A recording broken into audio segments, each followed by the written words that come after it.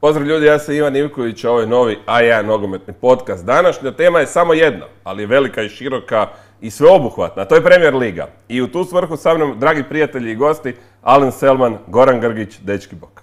Bok, Pozdrav, Ivane, pozdrav vašim svima. Uglavnom, nadam se da ste spremni i sami radite emisiju o Premier Ligi. Ovdje imamo, ajmo reći, malo više slobode i malo više prostora i taktičku ploču, nešto što vi nemate. To je to, Znači- možemo Velika stvar. A? Možemo, Velika kažem, stvar. crtati i micati kako hoćemo. Da. E, tako da ćemo proći sve najjače ekipe Premier Lige, e, jer dobili smo dosta upita o apsolutno svim ekipama, ali najviše naravno za, za ove najveće ekipe. I onda ćemo proći ovo uobičajeno... e, Simke? Jel smiješ ti ovak? e, u- a kaj je smiješno? Evo ja ću držati ako treba ovako, ako treba reklama. E, a, a, a onda ćemo, znači, proći svakoga od nas, ono, iznenađenje, razočarenje, bla, bla, bla. E, ok. Ajmo da početi s Liverpoolom, ne? Zaslužili su aktualni prvaci i branitelji naslova. Da, jel tako? I opet, dakle, favoriti za prvo mjesto, top 1 ili top 2. Dakle, tko god da kaže Manchester City ili Liverpool, neće pogriješiti. Vjerujem da će to opet biti utrka u dvoje i da će zapravo... neće dobiti puno para na kladi ako, ako A, da. uzimaš City ili Liverpool uzimaju ligu. Ne pokrišti ni porez.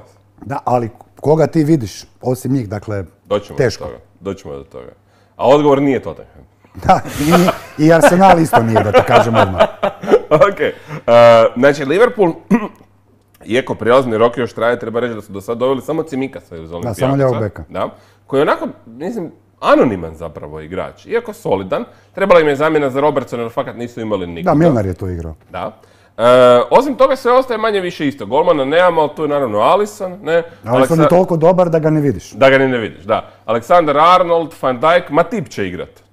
Ako On i je Gomez će se vrlo rotirati. vjerojatno. Da.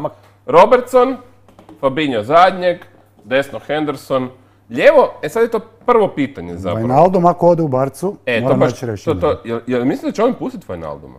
Pa mislim da da. Ja mislim da on Kejtu priprema za tu poziciju.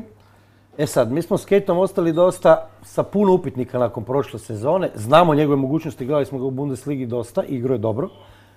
U Premier Ligi baš nije oduševio. Ja vjerujem da će on pustiti Wijnalduma, ali sad kako će Kejt odgovoriti, da li Kejta baš može pokriti sav taj radni dio, rekao bih, onoga što je radio Wijnaldum, nisam siguran. I naprijed ubitačni trio.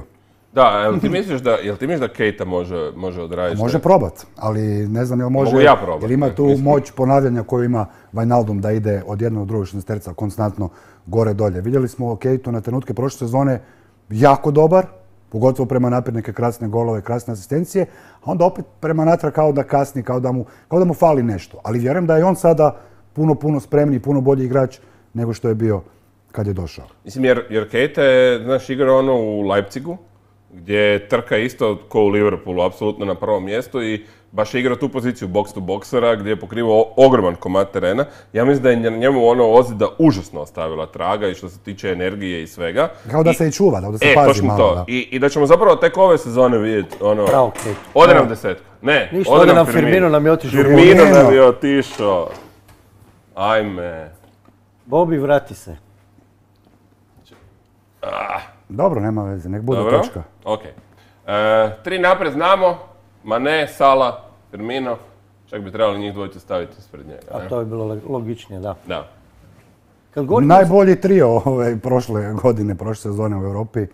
Zaista su bili vrhunski, sjajno se nadopunjuju.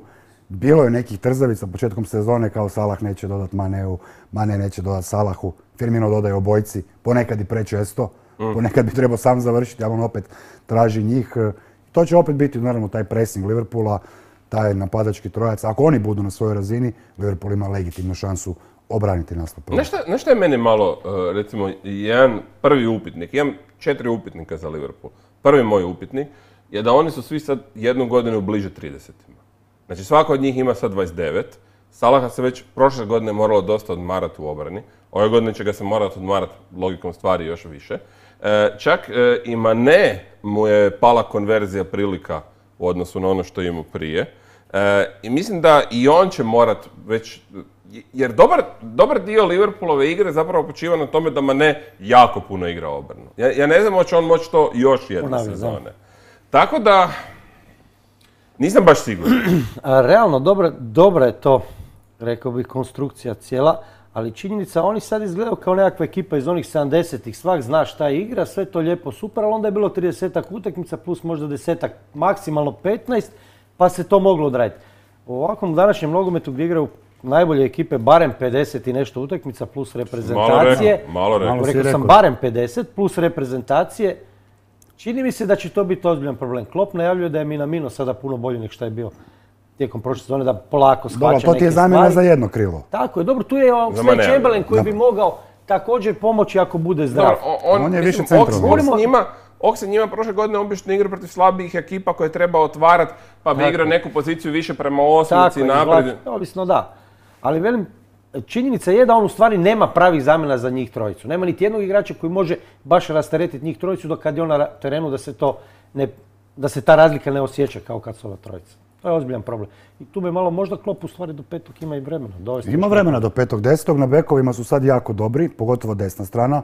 Trent Alexander-Arnold i mali Nico Williams je briljantan. Gledali smo ga u Liga kupu, FA kupu prošle sezone. Nedavno je debitirao za Wales, zabio gol. Dakle, tu nema straha. super, da. Cimikas je sad tu kao backup za Robertsona. Stoperi su Van Dijk, Matip, tu je da kako i Gomez. Ima tu još talentiranih klinaca koji to mogu A šta pokriti. a šta ali- ima ti ponovo ozlijedi? on će Gomez Problem. ući. Problem je ako se Van Dijk ozlijedi, problem je ako se Firmino ozlijedi, ako se Mane ozlijedi, ako se Salah ozlijedi. Za te igrače oni nemaju dostojnu zamjenu. Dok City, recimo, na svakoj poziciji je podupla. Nekima ima i tri igrača koji mogu jednako kvalitetno odigrati. Barem na papiru. Da. Ti si postavio dobro pitanje. Šta ako se Van Dijk ozlijedi? On je jedini igrač koji je nastupio u svim minutama prošle sezone za Liverpool. Znači, bez njega ta ekipa će sasvim drugačije izgledati. Definitivno navikli su se na njega. On je taj koji šefuje obranom, koji u stvari i na kraju kraja je efikasan je kod kornera, zabio je pet golova i tako dalje. To bi mogao biti ozbiljan problem i postavio si jako dobro pitanje jer ja mislim da oni u stvari sada odlaskom Lovrena imaju dosta tanku stopersku Da? liniju.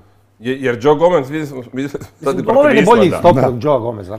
Apsolutno, To se mora se. Znači, Lovren, Možemo pričati šta hoćemo. Bez obzira što je naš, Dejan je Ali bolji. stvarno je bolji stoper od Joe Gomeza. Ne kažem da John nije polivalentni, on može i na desnog beka, ali Dejan je bolji na stoperskoj poziciji. ja mislim da ne želiš igrati utakmicu sa stoperskim parom tip Joe Gomez. Sigurno Da, to samo pitanje kad će neko zeznut. Možda protiv Fulama i nekog ovako, ali u principu... Jer mislim, Matip kad je bio zdrav prošle sezone tih prvih desetak utakmica, on je igrao fenomenalno sa Van Dijkom. Ja mislim da, da ono, ne znam kad je zadnji put igrao tako dobro, valjda u Šalkeu. Ali Matip zadnjih pet godina, ja mislim da nijedne godine nije odigrao više od 30 utakmica. Ne, pa ne može dosta je spojiti sezonu jednu cijelu da nema neku tešku ozljedu, odnosno ili neku dugoroč, pa ga nema 3-4 tjedna, pa ga nema 2 mjeseca, pa ga nema 3 Točno to. mjeseca.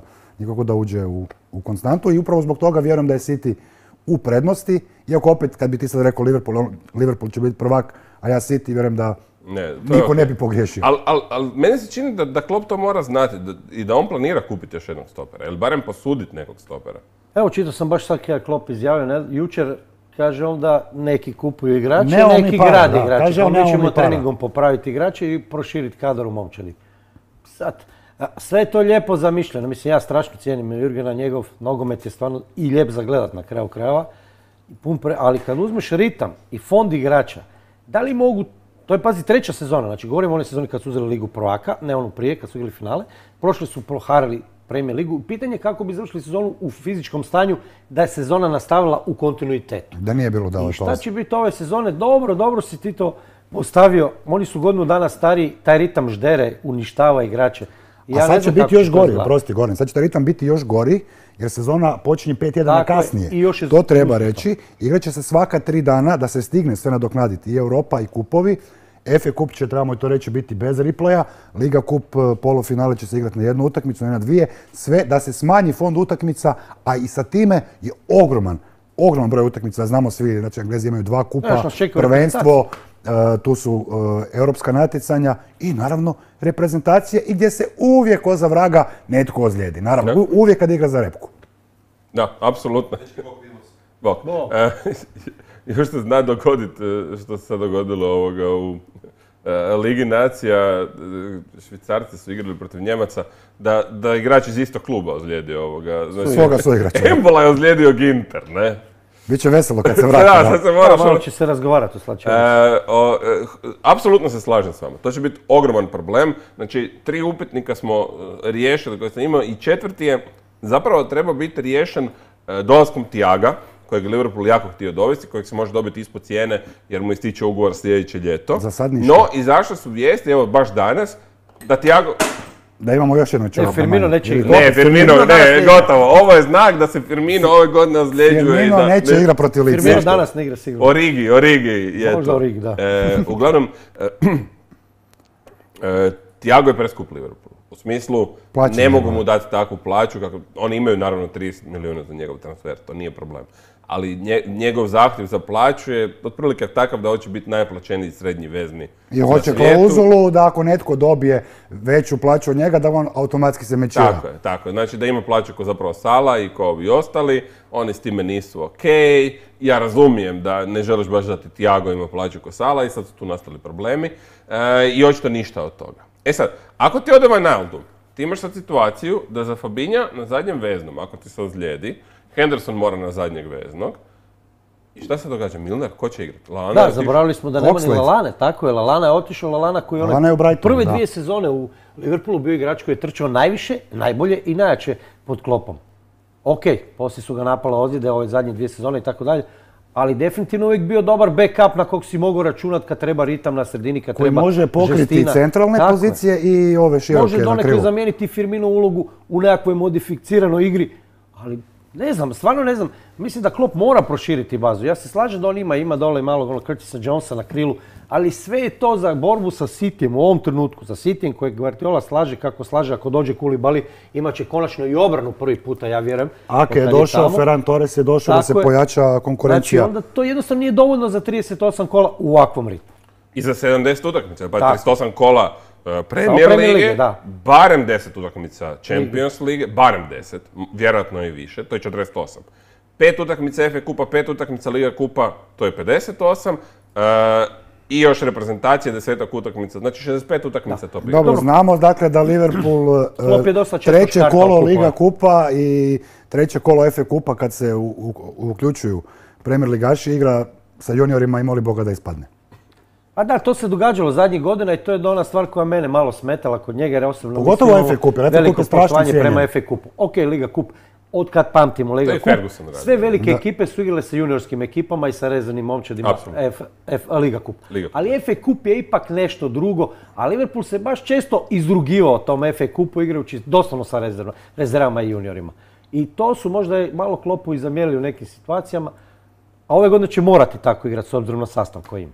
Da, mislim da tu fale definitivno po meni još, a i po vama, koliko vidim, dva, tri igrača. A, ma moraš imati širinu, Treba da. jedan stoper, treba jedan vezni ili ne prodat Wijnalduma. Ili Ako se ne- ne proda Wijnalduma, onda je ok. Onda je u redu. Onda ima širinu, da. I e, moraš znat što ćeš sa Oksom, koji nekako nikako tamo nema poziciju. Ne? Ne, on bi u stvari trebao biti kao nekakva alternacija moguća i Salaku u određenim On situacijama. je katica ali- za sve u Liverpoolu ali- nekako imam dojam. Da, Krpa dobro. poziciju ono gdje treba. Znači, Šećiri već dugo nema pravog tamo rješenja. Ne? Da, I Minamino do sad nismo vidjeli ništa od njega. Da, Znači, tri na igrača koji bi ti trebali mijenjati osmicu ili neku od krilnih pozicija su onako čardak ni na nebu ni na zemlji. Promjenjivo, da, dosta. Samo toliko da popuniš broj, u stvari niti jedan ti nije onaj pravi džoker s klupe kad neko, ne- nekog nema, da on ulazi i da ne gubiš na ritmu. Ne, na nemaš ovu situaciju kao City. Znaš ono, malo ti igra Mares, Tako. pa ti malo igra Bernardo. Tako. Pa ti igra Sterling, pa ti malo uđe i Foden. Pa svi odigraju uvijek I dobro. možeš uvijek rotirati, da. Da, dobro. Guardiola Dobro, tu je snaga City već godinama, jer oni su gomilali te igrače, dovodili, oni sad imaju zaista, kao što sam rekao na početku, ne samo dvojicu po poziciji, nego na nekim pozicijama i po trojicu vrhunskih igrača. Oni su prodali sad za velike novce, dobro, možda ne baš toliko velike kao što smo mislili sa Nea, Bayernu, ali su doveli solidnog Ferrana Torresa. Dobro, njemu će trebati vjerojatno da se navikne malo na Premier ligu. Došao je Ake da pojača tu zaista poroznu obranu. Ono što je obrana City radila prošle sezone, ono je kriminal. A dobro, ozljede. Oni, njima su često bili ozlijeđeni i Stones i Laporte. Ali ja mislim, da, koji su ali- trebali biti ono ali ja udarni stoperski Slažem se ja s tom. Ali ja ti mislim imaš stopere na klupi jer ti stavljaš Fernandinja. To Ja je do mislim trenera. od tih stopera nije top klasa. Pa Znači, Laporte je blizu. Ti Laporte u. Liverpoolu imaš Van Dijka koji je top klasa. Je, I Laporte bi sa, sa Van Dijkom bio top klasa, ali Laporte bez Van Dijka je samo dobar stoper. slažem se. E, I tu je on sad ovaj put, ako dovede Kulibalija, koji je naravno opet prilagodba na englesku ligu i tako dalje, ali čovjek kakve tank. ima, kakvu ima predispozicije, mislim da će prilagodba biti da se ljudi prilagode na njegov način igranja. I on ako složi tu obranu konačno, ako prestanu raditi greške u utakmicama u kojoj dominiraju 50 minuta, a prime gol iz kontra i na kraju nisu u stanju zabiti.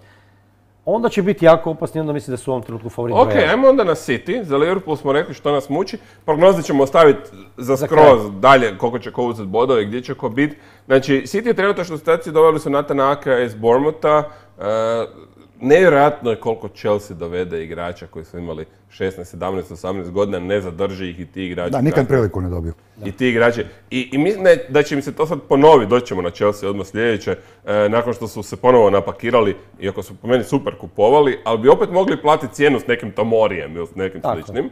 E, no dobro, ajmo na City. Znači, doveli su Natana Akea koji igra lijevog stopera, lijevog beka. Evo sad, e, za nizozemsku igru lijevog beka, recimo, protiv Italijana i tako dalje.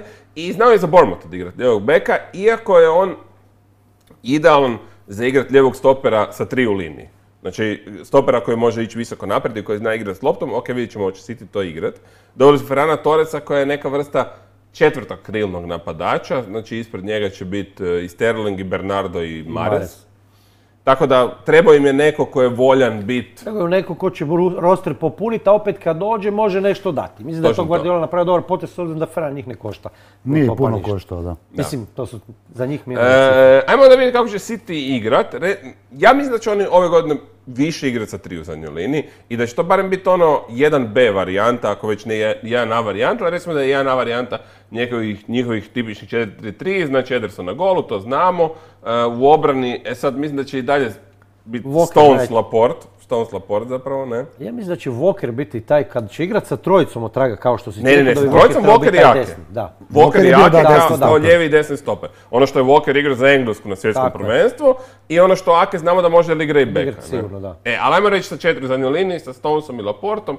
Lijevo vjerojatno Mendy, desno čak mislim da će Cancelo uzeti mjesto Walkeru. Ovisi s kim igraju. Mislim da to dosta ovisi kod Guardiole protiv koga igraju. Cancelo je puno ofenzivniji, puno kvalitetniji prema naprijed, ali jako zaigran od traga, a Walker je taj koji stiže od traga. Mislim, on kakav god da je, njemu ćemo naći 100 mana, ali niko tamo od traga ne stiže pokrit sve što stigne pokrit Walker. Da, jedan od najbržih igrača u toj Em je brz, em je fizički jak, on stvarno uz te nekakve svoje Nekad blackoutove. Nekad i prejak, pa onda napravi penal, ali dobije crveni. Bio je dosta koristan. Mislim da je čak bio najkorisniji obrambeni igrač prošle godine. Znači, jedini igrač koji zapravo u Cityu nema pravu zamjenu je Rodri. Rodri nema pravu zamjenu kao baš ono eh, holding eh, defanzivni vezni. Eh, Igre, oni mogu igrat i bez te pozicije, ali ako igraju sa tom pozicijom, tu može igrati samo Rodri, jer Fernandinho to više ne može. Ne, pa Fernandinho je Fernandinho prespor, da. Polako gotovo, recimo. Da, naravno, divimo se onom što je napravio u karijeri. Može igra Fernandinho kad ne igraju doma sa Fulemom ili sa West Bromom ili tako Da, nekim, da za koga igrati. znaš da će svi biti iza i da neće previše napadati. Da, Ali protiv neke jače momčadi gdje će biti posla i za vezni red i za obranu, teško da, da može s Fernandinhom. Da, eh, tu će igrati eh, Kevin De Bruyne, to znamo, desnog. E sad, lijevog veznjaka će zapravo... Phil Foden. Foden, vrijeme je. Gundogan ili Bernardo? Ko? A ima on mogućnost. Pazi, on ima mogućnost strašno u rotaciji, zato što su njegovi igrači takvog profila da mogu i mijenjati strane, da mogu mijenjati i pozicije. Znači, Sterling je gotovo pa svejedno igrali desno ili lijevo. Bernardo Silva može igrati i desno i lijevo i na I desetki sredini. i na osmici. Čovjek je fenomenalan.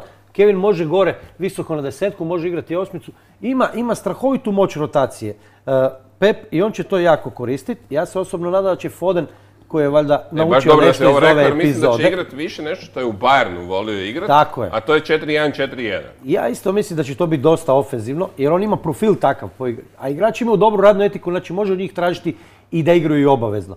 I čini mi se da će oni biti jako opasni ove godine. Ja mislim da, nećemo sad o prognozama, ali mi se čini ono, po svemu što vidim kako slaže momčad, da bi City ipak trebao se prometnuti u prvog favorita lige. Pogotovo nakon prošle sezone gdje su imali neobjašnjivo velik broj poraza. Da. Dakle, momčad koja je sezonu prije uzela naslov sa koliko? 14 Uzeli su pobjeda. 198 bodova u dvije redom. sezone. Imali su 14 ili 18 pobjeda za redom, koliko već su imali da su rušili Liverpool sezonu prije. I onda braniš naslov, ok, Liverpool je bio fantastičan, ali ti izgubiš koliko? Devet utakmica, koliko su izgubili? Osam? Je, pogotovo Dakle, su ne- u ne onoj- ranoj fazi prvenstva kad se Liverpool stvari odvojio i kad je Liverpool dobio taj zamah prema tituli, City je kiksao neobjašnjivo. Gubio je neke utakmice koje, mislim, City u normalnim okolnostima rijetko može izgubiti. A dobro, bilo je, sjećam se par utakmica gdje stvarno ovima, ko ono na menadžeru, pogotovo na starim menadžerima. Da, da, ima jedan šut po golu i pobjeda, da. I dovoljno, Znam dobro prvi to. šut, ti pogodiš tri stative. Je, da. I imali su doslovce 3-4 takve utakmice. E, to ti je desetak bodova. Da. Da, ne, Liverpool se odvojio. Znači, imam, imam da je prošla sezona u stvari bila jedna atipična sezona. Dakle, nismo imali nikakvu trku za naslov, kao ni one dvije godine ranije kad je City isto da. Ali zašto mislim atipična? Zato što ovaj puta smo imali top ekipu koja je mogla pratiti toga koji se odvojio, za razliku od ono prije dvije godine. Niko nije bio ni blizu City u prvom naslovu. Oni su bili toliko dominantni. Ali ove godine je City morao pratiti Liverpool, ali jednostavno kao da su prerano odustali od toga. Takav sam dojam imao. Da oni Kao tamo ono, već od, od Božića su pili da, 10 naopako. bodova to se da stići, ali da se stići, a u biti nas boli briga. Evo, tak je to meni Ali kad gledaš zadnje četiri sezone, e, tri od te četiri si imao jednu ekipu koja je već dosta rano postala prvaka. Tako. I Chelsea, i Tako, City, i Liverpool, ne? Samo smo jedne godine imali borbu za prvaka i to je bila, i to je bila zapravo prošla. Ne? E, ok, ajmo znači vidjet, e, kažem, m- m- meni se čini na tragu ovoga što si ti dobro rekao da će tu biti jako puno hibridnih formacija, jako puno hibridnih sistema e, gdje će igrači puno mijenjati mjesta, puno zauzimati različite uloge. Ne bi me čudilo da u nekom trenu igraju i 3-3-3-1 ko Bielsa sa Chileom. e, Sve je moguće. e, I ne bi me čudilo da se taj 4-3-3 promijeni više, to jest to sam siguran da bi se moglo dogoditi. U 4-1-4-1, baš zbog, zbog, zbog toga što je Foden dovoljno odrasto i oni, De Bruyne sad mogu igrati u, u, u zapravo liniji sa ovima, imaju zapravo e, Gabriela Jesusa koji može igrati neku polulažnu devetku, imaju super puno Na opcija. kraju krajeva imat će i Kuna. Kun će, Kun će se biti da. zdrav, mislim čovjek je najbolji strelac uh, Citya svih vremena. Najbolji je strela- jedan od najboljih strelaca u Premier Ligi Najbolji uopće u povijesti. da. Najbolji strani strelac. Ipak s njim ta momčad ima nekakve mogućnosti. Koliko smo puta vidjeli neko im se zatvori bunker, nema, nema, nema, nema, odjednom loptu u 16, tu pokret gol. On je stvarno majstor malog prostora. Je, je. Nije centar for razarač, ali je majstor malog prostora i to će njima opet dati jednu dodatnu kvalitetu za razliku u ovoj sezoni. Je. Ajmo o manama. Mislim, prva mora biti Nema Bog, da, definitivno. Mendy, em što nije top igrač, mislim da se oko toga slažemo, ne? A, ja mislim da Bio je on kupio je. krivo. Ja sam se našalio, mislio sam Ne, kupio kupio, krivog- Mendija. Umjesto Ferlana Mendija kupio je ovog Mendija da. i tu je možda malo... Ferlan je puno bolji, definitivno. Zato što je Pep rekao bolji. ovima tamo šejcima kupite mi onog Mendija ljevog beka. Ovi su mu kupili Da, prvoga Bernarda. kojeg su našli valjda na Google Mendija, ajde uzet ćemo njega. Da, to je, to je Luther Brissett priča, ne? O, Nevjerojatno. To, igrač koji se baš ne uklapa po ničemu u njegovu viziju igre. Prvo je teretan, Da, visok je, spor je, visok je, da. jak je, ok, jak je, ali to u engleskoj ligi koja je brza liga i ne dolazi toliko do izražaja. Da, bilo bi super da je stoper recimo. Nije igrač koji kakvog on treba, zato mi je dosta nejasan taj transfer nakon svega. I Mislim, stalno je ozlijeđen, i stalno je ozlijeđen. Stalno je To je ozlijeđen. A njegovih koji je ofanzivni vezni ili krivo mu igra ljevog beka već godinama. Da, mislim, i, i za mene je igra dobro, međutim, problem Zinčenka je što generalno nije ta razina igre I koja nije treba. to rješenje za nije prave on e, utakmice. obrambeni igrač, u tome je stvar, on može prema naprijed puno ponuditi Zinčenko. Pogotovo protiv slabih momčadi.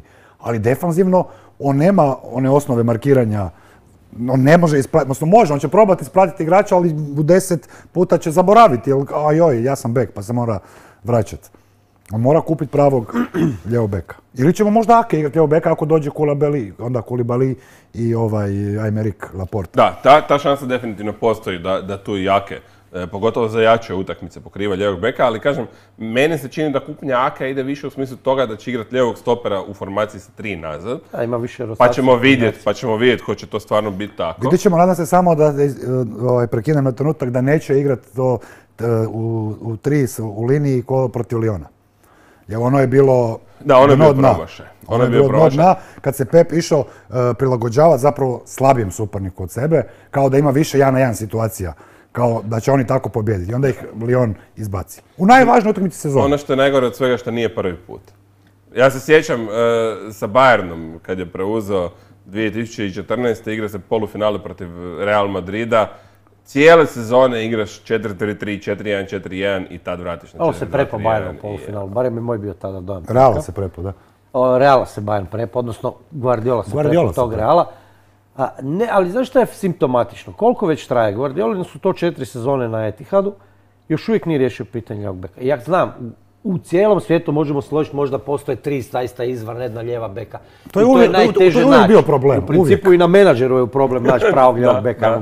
Onaj koji valja košta ili neće doći. Ali, pa on bar ima resurse, osim toga on ima i viziju, on ima i ideju. Možeš krpat trupe, ali onda dolaze utakmice, govorimo o Ligi prvaka, jer City ne smije biti cilj samo Premier Liga. To nije momčad ni stvarana za Premier Ligu samo. da on jednostavno još uvijek nije našao rješenje s takvim igračem. Da njihov nekakav ultimativni cilj je ta Liga prvaka. prvaka, ono Jer što je prvenstvo su uzeli, Liga kup su uzeli? FA kup su uzeli, sve su I to sve uzeli. po nekoliko puta, jel? Samo nema Lige prvaka, ne da nema Lige prvaka, nema daju četiri finala. Toliko novca je Da, utučeno, valjda milijardu funti utučeno kad je on jedini došao. City je uspio odvesti u polufinale Lige prvaka. Da, je li imamo još neku manu zapravo osim lijevog beka? Ja bih rekao da ako Kulibali ne dođe... Pa golman. Ederson je dobar golman, ali po meni se on jako često zaigra. Prvenstveno zbog toga što nema previše posla. Valjda mu je dosadno. Onda on po- poludi i kaže idem ja napred.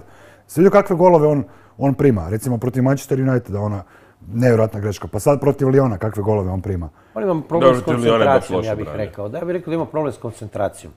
Da je tip golmana koji kad nije u utakmici 100%, Kad nema posla. onda mu se svašta događa. nema posla, on je loš ti golman. braniš u ekipi u kojoj se od tebe i očekuje da baš to imaš, jer tu niko ne očekuje da ti imaš 20 obrana po utakmici. Mi znamo zašto je njega Pep doveo, jer je sjajan s nogom. Osnovno čovjek je upisao, mislim, asistenciju ne znam koliko puta, već ima najdulje, najpreciznije dodavanje na svijetu, valjda u Guinnessovoj knjigi rekorda, koliko, ne znam, sam skoro 100 metara je poslao loptu, ono, savršeno, gdje treba. Majstor igri nogom. U redu, to je itekako dobra kvaliteta za golmana. Ali primarna i jedina zapravo ono što golman treba imati je da obrani te udrce, a on ih baš u zadnje vrijeme i ne brani. Ne kažem da je loš golman, ali možda bi tu trebao nekog dovesti tek toliko malo da bude konkurencija da se Ederson zapita. Aha, i oni su doveli, da ti kažem, Carsona iz Darbija na posudbu kao da bude backup golman. Kako je Carson konkurencija Odlično. Edersonu? Odlično. Pitaj Niku. Neko će braniti za Pitaj Niku reprezent- neko će braniti za reprezentaciju. E, pa njega se Niko Kranjčar voli sjetiti. nekoć. I onog Wembleya i onog gola. Da. E, uglavnom, kažem, ako Kulibali ne dođe, mogao bi dalje postaviti problem na stoperu. Lijevog beka smo spomenuli. I to su otprilike svi problemi koje ima ta momčad. Sam- Marez je prošle godine strašno proigrao. On je jako napredovao. E, Foden je proigrao u post-korona periodu. Foden sad apsolutno ima pravo tražiti biti prvotimac, nasljednik Pa, vrlo Davida Silva. da. Da? David je Pa. Gündogan je proigrao. Gündogan, Je drugi dio, onaj, odnosno post-covid dio je odigrao jako dobro. da, Da ga ne podsjetio na dane iz Cancelo je Bundeslige. proigrao. Vidjeli smo protiv Hrvatske što je odigrao za Portugal i u post-koroni je isto odigrao super za Ma to se skrompao ovo protiv Hrvatske. Znači, e, znači, Može čovjek, probati još sto puta, neće zabiti. Znači čovjek je s lijevom nogom za 25 Slabijom metara. nogom da. da, bio strašan. Pa da, zato kažem, može probati Tako da, puta. jako puno igrača je zapravo u onome što se kaže pozitivan tonus. To jest, ono, na velikom plusu u odnosu na što su pružali prije. I jedini koji zapravo je minus u odnosu na negdje gdje je bio prije godinu dana za mene je Bernardo Silva. Nekako je kao malo ostao zapostavljen u toj ekipi. Ali možda zato što ga on stalno seli. Znači, malo je u sredini, pa je malo lijevo, pa je malo desno i u tom sitiju ti nikad ne znaš e, tko će igrati. Dakle, ljudi koji igraju Premier League Fantasy mrze Pepa Guardiolu, mrze City, jer ti lijepo staviš Sterlinga, staviš De Bruyne, captain, vice captain, e, i onda izađe sastav i jedan i drugi na klupi. Ili ih nema uopće među 18. I to je problem kod Bernarda. On igra malo u sredini, malo lijevo, malo desno, stalno ga šeće, umjesto da ga na jednoj poziciji ostavi i kaže ok Bernardo, ti ćeš ovdje meni igrati ove sezone. I to je to. I vidimo protiv Hrvatske koliko je zapravo dobar. Ne, Bernardo. Bernardo fenomenalno. Ali meni recimo protiv Hrvatske Bernardo odradi onako. Rekao bih štreberski. Mutinho, Bernardo, Bruno Školski. Fernandes, štreberska utakmica, pokazali su klasu, ali ništa spektakularno. Jer nije trebalo ništa spektakularno, budemo realni. Ali to i želiš, tu konstantu. Ali od Bernarda možeš stvarno dobiti puno. Ja, ja kad gledam cijelu tu, znači sad smo se dotaknuli te formacije i toga koja je njegova slabost. Možda je slabost upravo ono što im se događalo kad se, kad se Aguero ozlijedio, činjenica da nema jednog klasičnog razarača, da nema jednog centrafora koji bi došao sa klupe eventualno protiv ekipa, a znamo da će se 90% Neki ekipa njima zatvoriti u nekakav bunker. Nemaju igrača koji bi mogu te lopte s glavom lijevo, desno spuštati, ono što nominalno radi Firmino, iako nije takav tip igrača Salahu i Maneu. I tu bi možda mogao biti protiv blok obrana problem u igri City. Jer oni će napraviti 100 šanse, oni će 100 puta doći u 16 Da, i terac, povratna- ima 20 kornera. Ali vidjeli smo da su u skoku u stvari dosta neefikasni kad govorimo o prekidima. Rodri je zabio par gola. visokih igrača. Da, nemaju visinu. Nema Rodrija na terenu. Oni u stvari nemaju, osim dva ova dva stopara, ni jednog skakača na, tra- na travnjaku. To je Liverpoolova velika prednost, oni su silovita momčad u prekidu. da, silovita momčad u prekidu imaju dva, vjerojatno, dva od pet najboljih skakača Premier Lige, znači i Van Dijk ima tip.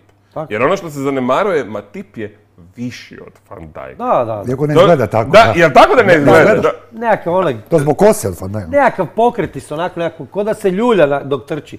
Ali znači, Dijka njih dvojica su odlični. Je malo pogrbljen, Njih da. dvojica su odlični glavom. Wijnaldum je odličan glavom. E, Mane je odličan glavom, iako je nizak, ali nema odličan. veze, Ima odraz, da. percepciju Da. prostora, da. Znači, Liverpool ima 5-6 igrača koji su fenomenalni glavom City, čak i ovi koji su visoki, tipa Stones, nije dobar igrač glavom. Ne? Tako da, da, nji- oni imaju taj problem da ne mogu iz prekida razbijati duboke obrane, A zato mogu dobiti gol iz prekida. to ide jedno s drugim. A to ne? je obično vezano jedno na drugo, da. Ali oni to kompenziraju tako da jednostavno te sabiju u 16 terac i onda će se nešto odbiti. Kad se da, tad će ući nešto, Da. da. Da, imaju dvije kobre u 16 i Gabriel Jesus i Aguero mogu zabiti iz ničega u principu, jel? A tu je genijalac koji šalje 100 lopti kroz, na utakmici u 16. Da, da kažemo da je zasluženo dobio po izboru igrača Eto, Kevin vidiš. De Bruyne. Znači, neprav- nepravda titulu. Pa nije bi rekao da je nepravda, ako se izabrao kapetana prvaka e, od strane novinara da bude najbolji igrač, mogu razumjeti. Ne, nisam na to Iako su svi vidjeli da je Kevin De Bruyne govorimo bio... zadnje tri sezone. A, da mu Kad nisu je dali. City dva puta bio prvak, onda su nagradu dobivali igrači Liverpoola, Salah i Van Dijk. Van Dijk. Sad kad je Liverpool nakon 30 godina e, sad je onda su dali- govorimo o nagradom igrača, A koja dobro mene naj, najvrijednija. Skoro je srušio rekord po broju asistencije i trebao je srušiti, mi da I su mu da ukrali. Aguero bio zdrav, Da su mu ukrali, jednom dvije su mu ukrali, nisu pisali jer se odbilo od nekoga.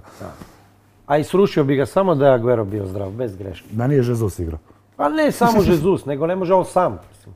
Dobro, mislim da smo sve ti prošli, ajmo na najzanimljiviju momčad. ne, Chelsea najzanimljivija, ali, ali ajmo na Manchester United. Manchester. United, Manchester i to smo se još zafrkavali tu prije emisije da... Nećemo možda, bi, možda bi bilo dobro da navijači Manchestera prebaci na neki drugi YouTube kanal. Vratite se za 10 minuta.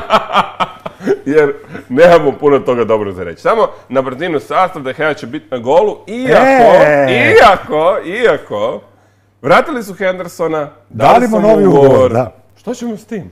Pazi sad ovo, da ti samo kažem nešto. Oni plaćaju pola miliona funti tjedno na golmane. DH ima 350 tisuća, Mali Henderson nakon briljantne sezone u Sheffieldu je dobio ugovor na 150 tisuća, što je sjajna plaća.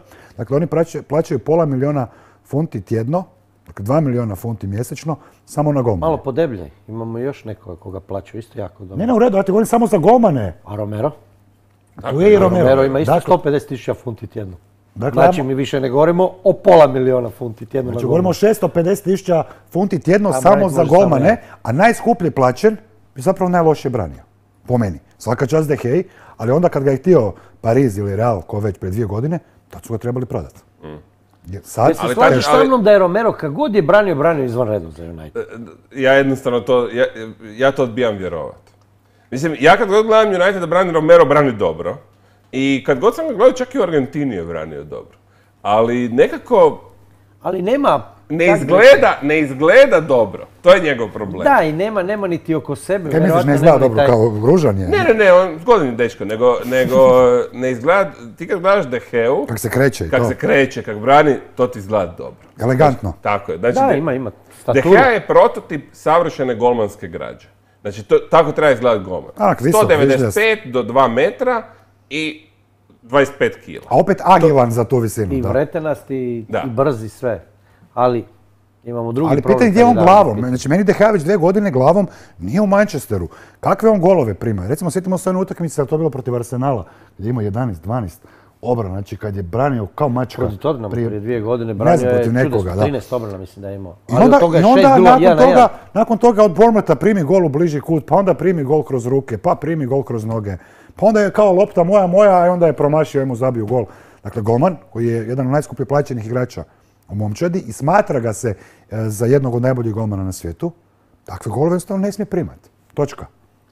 Da, je bio jedno vrijeme najplaćeniji igrač Premier Lige. Tako je. Ali znaš u čem se radi još jedna stvar? Zašto nas toliko e, navijači Manchester United, oni misle da mi zaista mrzimo United što nema naravno veze sa Mi volimo sve klubove iz Premier lige. Nas tu Dobro, ja ga malo mrzim. Ja iskreno ne. Ja, Što ja voliš čak- Arsenal? Ja čak iznimno cijenim Manchester United, za mene je Manchester Ne, United ja ga cijenim, ali to nema ja veze, ali to nema veze s ovo ovako, love-hate. Nemam loših e, am- onih emocija prema Unitedu, ali imam loših emocija prema uvjerenju da smo nešto šta nismo. U ovom sedam trenutku godina Manchester, nismo. tako je, u ovom trenutku Manchester United nominalno ima, ima igrače u obrani, ali E, Vadi se podatak, pa Liverpool je primio samo toliko pogodaka manje od Manchester United. Da, ali u kakvim utakmicama, u kom kontekstu i kada. United, kad god nešto očekuješ od njega, ovaj United, E, onda jedino što može, možete razočarati. Kao Dinamo u Europi, otprilike, vodimo u 93. 3-1, na kraju završi 3-3, jer smo svi znali da će to biti 3-3. Tako izgleda United. Meni, trenutno. Ajmo samo proći. Znači, De Gea, prošli smo, problemi. Ok, DH je broj 1, ajmo reći da je Henderson broj 2, ali koliko dugo će Henderson htjeti biti broj 2? Tako je. A koliko će Romero htjeti biti broj 3?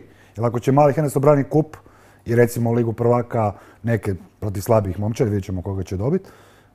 Gdje je onda A jedan tu za mora ići, Romera? definitivno Jedan mora ići. jedan ići. Ja bi osnovno prodao Deheu, dok možeš uzeti još neke novce za njega, Parizu, recimo, PSG-u bi super došao, najbolji golman kao ovo ono, oni ga mogu platiti, United bi tu zaradio, imaju Hendersona za budućnost, imaju Romera koji će opet vjerojatno htjeti biti backup. Ok. Ajmo, Van Bissaka, Maguire, vratit ćemo se na Maguire i njegove izlete u Grčkoj. I se vidio treći dres Uniteda. Navodno je ovaj napravljen po uzoru na njegovo vrijeme u zatvoru koje je proveo u Grčkoj. Ako nisi vidio, obavezno zgooglaj treći dres Ok, Uniteda za ovu sezonu. E, lijevi stoper, e, krenut će Lindelov, ali ja bi stvarno volio jednu vidjeti da Baji nije ozlijeđen. On je ja stalno ozlijeđen. Kad je došao iz Viljarava, je, je, ozlijeđen. stalno je ozlijeđen. Ali ja bih volio, jer, jer to je, znači njegove fizičke predispozicije Ne, su brutalne. ono van apsolutno svih parametara. Ne? Ali okej, Lindelov. Shaw, ako ima ispod 100 kila. A ako nije bio na dijeti ko Azara, jesi vidio Azara kako izgleda? Je. E, ok, zadnji vezni McTominay ili Matić, vratit ćemo se na pitanje ko od njih dvojice. Kupili su Van den Beka. Van den Beek može igrati manje više samo na jednom mjestu i u reprezentaciji... A tamo već imaju i u, igrače. I u reprezentaciji i u Ajaxu igra samo na tom jednom mjestu, na mjestu desne osmice. Što znači da će Pogba, koji isto igra desnu osmicu, morat na lijevo, jer sumnjam da će Van den Beek ići lijevo, to mi ne bi imalo smisla. Fernandes gore. Onda Fernandes polušpica, polušpica ispred njih, Da. iako svako od njih voli se zabadati u sredinu, znači kradu jedan drugom prostor. E, gdje će staviti Freda, ne znam, koji je by the way odigrao odlično u post-korona periodu. Za mene bi on bio prvotimac. I ok, ostaju ti Martial i, i Rashford koji teoretski mogu biti široko postavljeni dva napadača da, da Fernandes dobija prostor, što su igrali i ranije, što je ok. Ali Van den Beek mi se tu nikako ne uklapa. Da, dobar igrač, jako dobar igrač, relativno mali novac u današnje vrijeme. Slažem se. 40 koliko milijuna Da. eura. Ali opet, ti takvog igrača već imaš. Ono što si rekao, i u Pogbi i u Fernandešu. Jedino ako će mijenjati sustav, ako će. Solskjaer nešto smisliti, pa onda igrati, ne znam, sa dva centralna, dva ofenzivna, dva zadnja, dva centralna, ali to je jako teško, sam si rekao, to uigrati. 4-2, 2-2. 4-2-2 to igra samo Salzburg. Malo mi je na pamet nešto vezano za Donje Van de Beka. Situacija, navodno u siječnju Pogba traži povratak u Juventus.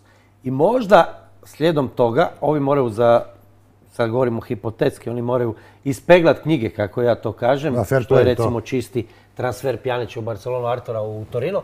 I da, navodno onda će probat napast po- na Pogbu, da, do- da se vrati u Torino. I tu možda i je ključ ovog odgovora zašto To su oni toliko inzistirali na dovođenju Donje Van de Beka. Da, ima šest mjeseci da se trenutku- prilagodi i onda kad ode Pogba Tako, da U ovom uskoči. trenutku definitivno imaju problem istog tipa igrača na istim pozicijama, a nisu riješili neke ključne stvari po meni. Ko je? Po meni recimo, Lijevi ključna bek. stvar, nisu riješili pitanje ko će biti stoper broj 1 uz broj na poziciji desnog stopera Uz uz, ptičicu. Jer Lindelöf je sličan tip profil igrača kao i Maguire. I oni kontinuirano imaju problem sa niskim loptama u 16 tercu, sa ulaskom igrača iz drugog plana. Znači, Baji bi to donekle mogu riješiti sa eksplozivnošću, on bi se u stvari idealno po predispozicijama nadopunjavao Ja ti sa kažem, hoću Maguireom. vidjeti Bajija. Onda ne, nema Da, toj Teretni Maguire koji je onako ogroman i Ali sve čisti kako i ovaj čovjeka koji je svako malo ozlijeđen, mislim, možeš li gatati i očekivati da će ove sezone biti zdrav? Znači, po meni nisu osnažili obranu, za sada, ne kažem da Samo neće. Van de Beka su doveli, A, da. Moraju igrati u ovom sustavu koji u stvari po ničemu nije tradicionalno Unitedov sustav. Oni su to igrali u nekim situacijama prošle sezone. Ali mi znamo što je United, povijesno United, 4-4-2, 4-4-2, 4-3-3. I to je gaženje. United, gaženje, ritam, napad, A ne ritam, na napad. kontru, oni Svojim dvije godine igraju na kontru. ritam, napad. Realno, pa zašto United najbolje igra protiv ekipa koje vole njemu izići, koje njega napadnu, onda United koristi brzinu Marcijala, Da, da pobijedi Rashforda i opasni su. Duga podvaljena lopta Fernandeša, Pogbe, ovi pobjegnu gol. Ali kad oni grade napad, kad oni pritišću, fali jedan pravi rasni centar United da se navikao da ima jednog pravog To rasnog sam htio reći, to je bio najveći problem, ne samo prošle, već i prošle sezone. Uh, United doma kad je United favorit. Dakle, kad se, Očekujte recimo dođe ti nekakav Burnley, dođe ti nekakav, ne znam, Sheffield, i stvarno svi za lopte i kažu, evo, evo vama lopta, igrajte vi. Tu United nema rješenja, oni imaju 75% posjeda, ne mogu doći do gola. Sa Fernandešom, i to naravno izgledalo puno, puno bolje, zaista nevjerojatno kako je, kako je jedan igrač uspio, uspio dić, preobrazit zapravo momčad, svaka mu čast na tome. Je, Sad će reći, "O, on je penaldeš, jer je zabio tisuću golova iz penala, ali ne treba znati za penal, ljudi moji. Ali nebitno je to od čega on zabio golove. Činjenica kad je on digao da je United izgledao bolje, kad je on stigao. Činjenica je da je United postao opasniji iz svih Ali, pozicija. ali ovo nije nebitno. Znači, United je dobio manje više rekordan broj penala. Mislim da su imali 23-24 penala prošle 23, sezone. Znači, to se neće ponoviti. To se To neće. ne znamo. Oprosti, to ne znamo. Ne, okej. A to će se možda i To se ponoviti. vjerojatno neće. Vjerovatno ne, to je već drugo. Da ti da. kažem, Ivane, za VAR, dakle kojeg smo često spominjali ti i ja prošle sezone, VAR se u Engleskoj najlošije provodi od svih liga, jer e, engleski suci uporno ne žele ići gledati na onaj monitor Tako, njima sa strane. Dobili su naputak od FIFA, dakle da ako to rade drugi suci u Italiji, Francuskoj, Njemačkoj, Španjolskoj, da i oni izvole to raditi, da se VAR jednako implementira u svim natjecanjima. Tako da od ove sezone očekujem više od glavnih sudaca da će ići na taj monitor sa strane sami procjenjivati situaciju, jer prošle sezone mi smo imali, mislim, svega dvije ili tri situacije gdje je glavni sudac išao gledati na monitor Da. i to ne penal ili nešto takvo, već je e, e, promijenio odluku iz žutog u crveni ili iz crvenog u žuti.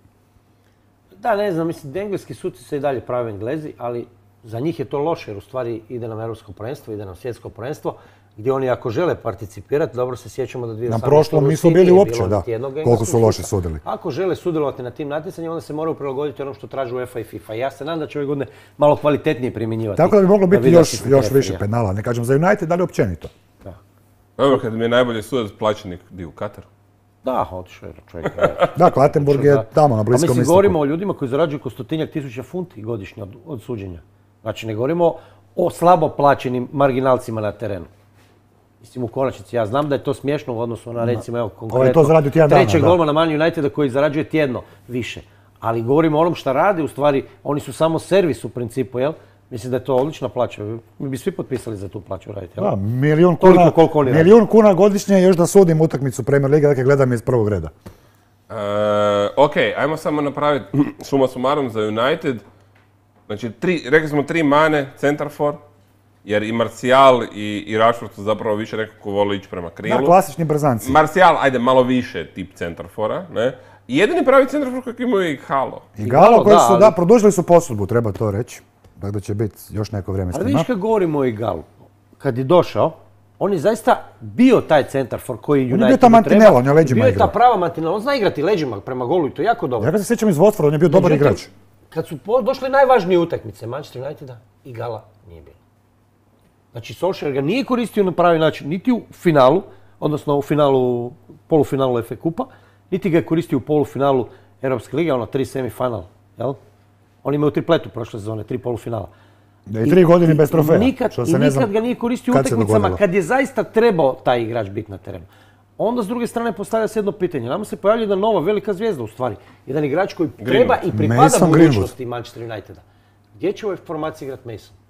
Pa ja mislim da se jedino može mijenjati sa Marcialom i sa Van den Beekom. Ili I da eventualno Van den Beek ne bi igrao pa bi se igralo s tri naprijed, Marcial u sredini, a on desnog napadača. Tako da će i tu malo biti promjene, rotacija Pa taktike. sigurno, ne? Ili da odluči igra 4-3-3, što ne vjerujem. Jer Greenwood je prevrijedan njima da, Pa da ne bi igrao dvije od tri utakmice. Ne?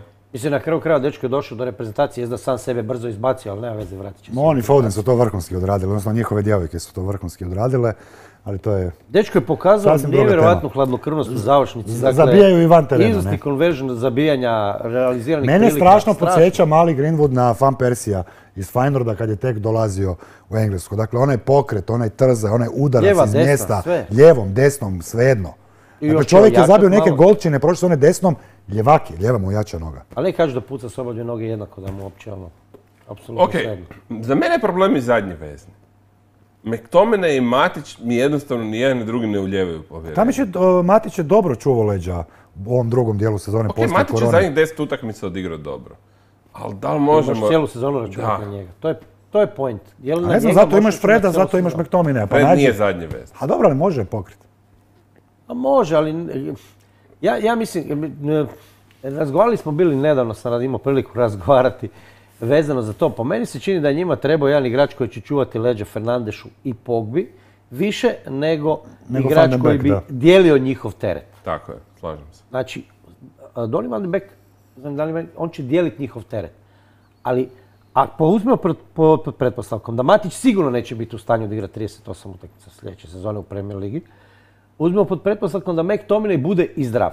Ajmo realno, koliko god McTominay bio dijete Manchester Uniteda, da li i jedan iskreni navijač Manchester Uniteda vjeruje da je Scott McTominay trajno rješenje da bude, ne znam, ono što je nekad bio Michael Carrick, recimo. Da bude 10 ne godina da. ili, ili Kina. Ili Roja Kina, da.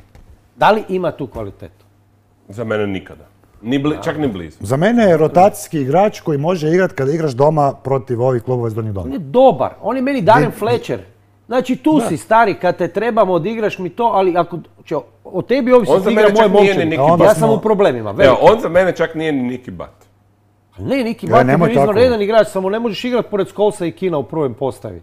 Ne možeš, ono su dva Kažem, monstruma to me za mene čak nije ni Da. to. Neko ko prvi upada, pa Ne, nije prva ona, skosa. prva rezerva, da. Osim što je igrač iz omladinske škole, to mu u stvari, makar on meni simpa, mislim da se razumije, on ima te nekakve defanzivne vari- varijante koje njima vrijede, ali nije, za ovu formaciju ne, definitivno ne, mislim da im treba nekakav drugačiji profil igrača.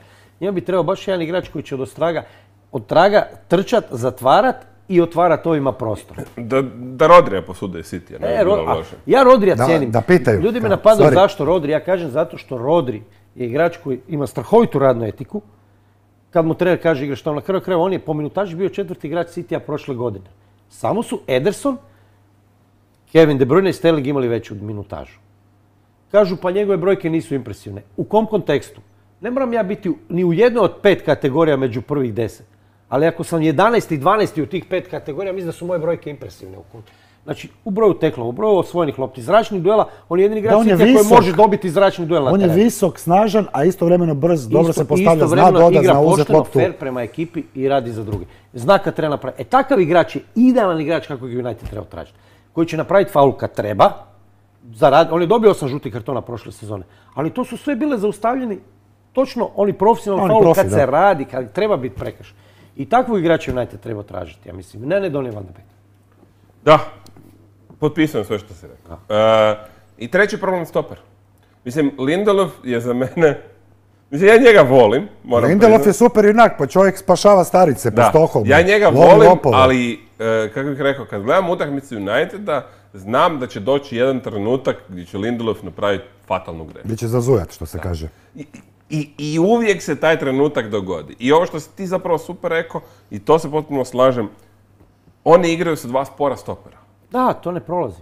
To ne prolazi danas, pogotovo ne prolazi u Premier Ligi koja je Da, najbrža mora liga. biti mora Nek bit kontekst. kombinacija jedan visok jak, ko Maguire, i jedan, ok, nije e, Baji nešto niži, ali je brži, pokretljiviji, agilniji. Pa ima puno brzinu eksplozivnije, napadača. puno eksplozivnije. Da, Baji- Baji I se može čita igru, sa svakim napadačem, da. Pazi, Baji sjajno čita igru. Ti kad vidiš, on je na mjestu gdje se nešto događa. Maguire, kada govorimo o prostoru, jedan na jedan, on je ispod prosječan stoper u On tom je kod segmentu teretni igre. kamion, ko Scania, ovako kad Znači, se okreće. njemu treba neko ko će loviti eventualno takve situacije. Ali kad govorimo o igri u zraku, Maguire je najdominantniji uz Van Dijka stoper lige. E sad, zašto si spario takva dva stopera, I to je Luisa pitanje za. I Luisa Dunk. Louis Dunk je otišao u Pa Celtic, ili, je, definitivno. ili, ili Ne, ne, Duffy, Duffy, Duffy, Duffy. Duffy otišao Duffy u je Celtic, otišao u da. Celtic, Ne. Celtic samo Irce uzima. A, da. ne. I Da, dobro si primijetio. Louis Dunk je jedan stoper koji je u stvari bio pravo malo otkriće prošle sezone po učinku, kad bi gledali onako generalno. Pocijenjuju se ti stoperi iz manjih momčadi. Ja kad sam gostovao na, kod eh, Korde na tribini, ja, ja ću ti iskreno reći da sam ja, meni stoper koji mi je ostao u najboljem sjećanju ove sezone, Van Dijk je Van Dijk, ok, njega uvijek moraš staviti zbog svega i zbog Liverpoolovog rezultata. Je, koji me oduševio prošle godine, i U prvom drugi, dijelu sezone. U prvom dijelu sezone. da, poslije su oni pali Leicester bio kompletno. dobar, Leicester da. je pao nakon covida kompletno. Da Leicester, da je, nije bilo covida, Leicester bi sigurno igrao ligu prvaka. Je, slažem se. Kakvom su naletu bili. I možda bi Sheffield United bio na mic Igrao do Europa ligu, da, sigurno. To su dvije momčadi koji su najviše platili covid. I kako se zove, i uz njih i stoper koji mi je jedini, kad ono velik dva stopera, sad ja lovim stopere, ko mi je ostavio nekakav dojam? Dunk mi je ostavio strašan dojam, ali ga je lijepo spomenuo. Čovjek je stvarno, samo govorimo o Brightonu, pazi, ali je čovjek odigrao sjajnu sezonu. Vidi se da rad sa Potterom je njemu najbolje A Burnley. Tarkovski, mi, Da, ali al, pazi, kad govorimo o Brliju i stoperima, Tarkovski mi... Ali inače je Ben Mi junior Manchester City. Čudi me da Pep nije reagirao da, da pojača obranu.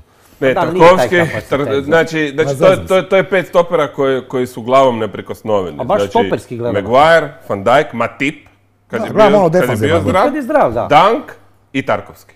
Znači, to, je, znači ti, to, to su e, unutar 1%. Njih ne želiš u skoku. Da, da. da, oni, oni su svi tu negdje unutar 1% od 75% zračnog duela, što je, To je brojke čudne. Da, kad ti Znači, kaže trener ti čuvaš nekog od njih, oj, zašto ja? Jer oni, jer oni skaču sa svim ovim grdosijama. Ne? I, I rade to dobro, ne samo što skaču, oni stvarno rade to dobro, svi.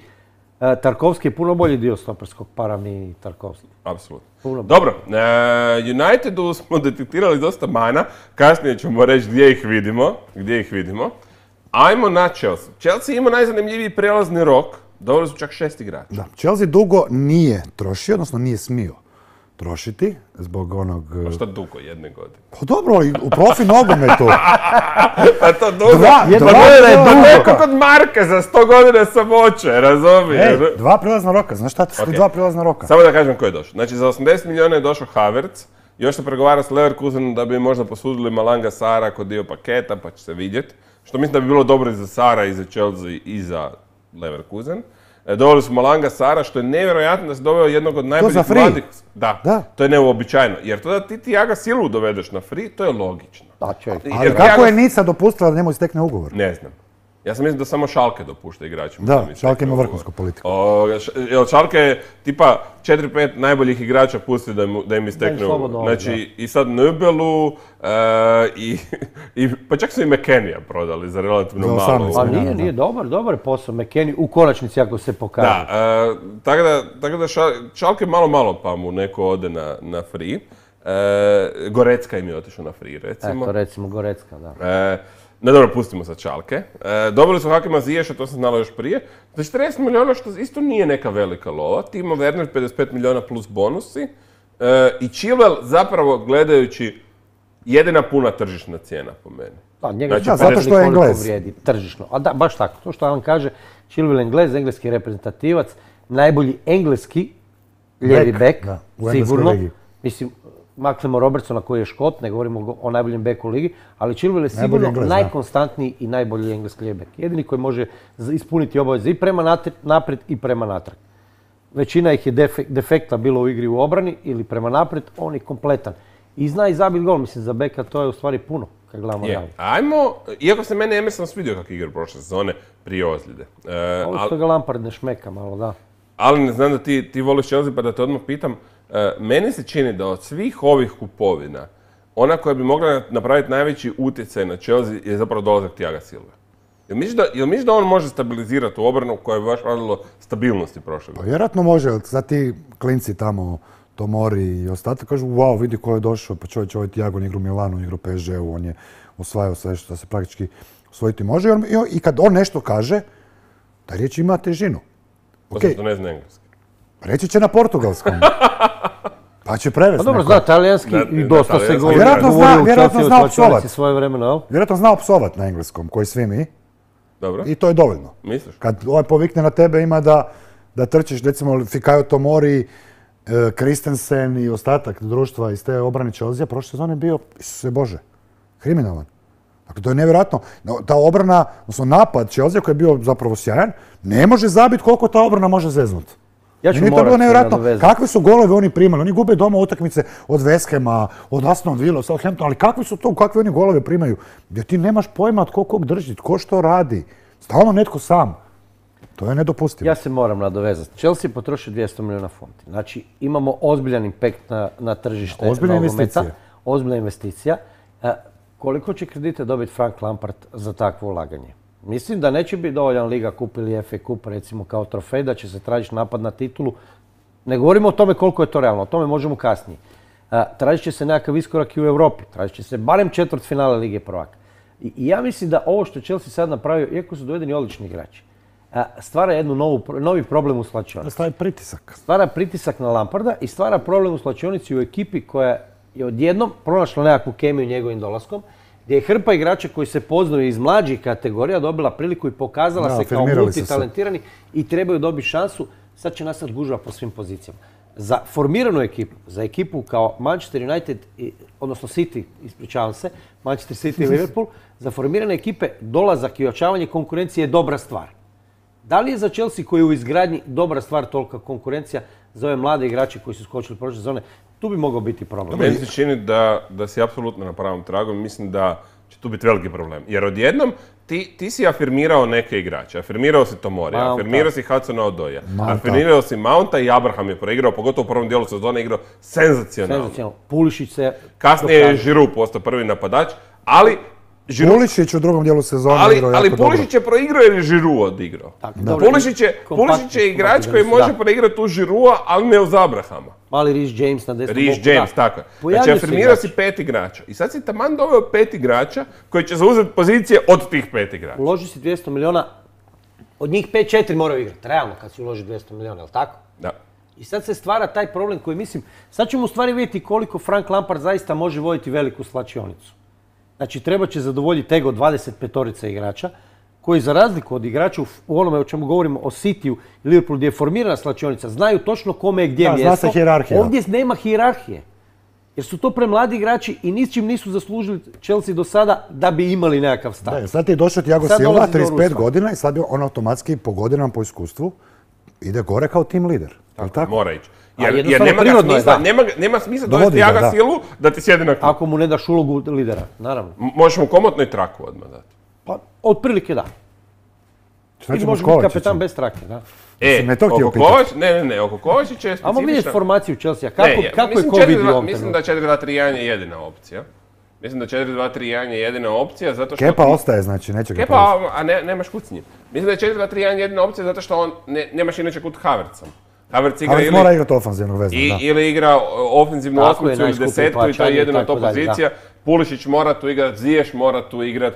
U, u špici Abraham ili Werner, s time da Werner može se preseliti ovdje u nekoj... Werner je polivalentni. Je, on je polivalentan, a recimo da će igrat napadače. Žoržinjo i Kovačić su meni bili odličan tandem. Zapravo je za mene tu uh, kolateralna žrtva Kante. Da, ali oni Ali kad kako ćeš složiti momčad prodati. bez Kantea? Pa čovjek trči tako. za trojicu. Mislim da oni u ovoj da će ga prodati Interu? ja uopće ne znam, a, ja ću ti iskreno reći, ja uopće ne znam kada je, kada je Frank u pitanju kako će to A izgledati gdje će godine. Mount igrati? Će Mason Mount biti zamjena Havertzu? E, mi imamo, znači, imamo o njihovim, imamo, znači, govorimo o igračima iz njihove akademije. Mason Mount koji je pojavio se, potvrdio se, Gdje će igrati u Darbiju, briljantnom Stvar, pretprošle igrao je prošle sezone. jako dobro, došao je do engleske reprezentacije. Mi sad govorimo o statusu engleskog reprezentativca, ok, on nije u prvih 11, ali je tu. Sad već engleska javnost drugčije tretira njegove nastupe.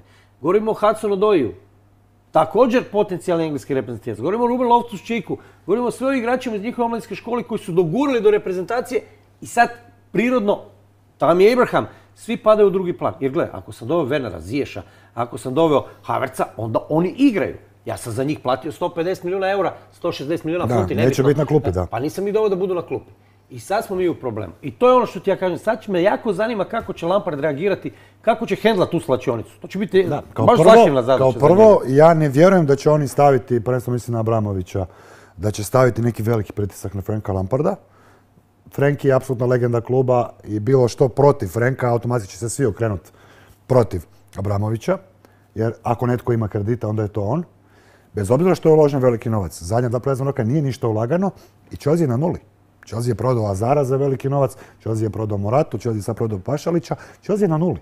Iako ne znam zašto su prodali Pašalića koji bi im dobro došao. Da, to je ugovorno bilo. Ali tako imaju da- toliko igrača Ne, na ne, tim Pašalići su, pozicijama. oni ne bi Pašalića... Bila je opcija, Mario ne bi tamo nikad igrao, loan to buy. Da, I klauzula, onda ovi da. ako su zadovoljili klauzulu Da, automatski. ali ne bi igrao. Umjesto koga bi igrao Mario? Ma dobro, nevažno, ja bih volio Realno, umjesto koga? Da je dobio šansu, nikad nije dobio pravu šansu, Ok, to je druga stvar. Dakle, treba će Chelsea jako puno vremena, odnosno Lampardu, da uigra sve to skupa. I da nekako sve to nivelira, da svi budu sretni. Jer Mason Mount koji igra primjer 40 tekmi prošle sezone, ove neće igrati 40, jer došao Havertz, igrat će 25. Ali onda imamo problem. E, pa onda se on buni, onda se on ljuti, pita coach zašto ja ne igram.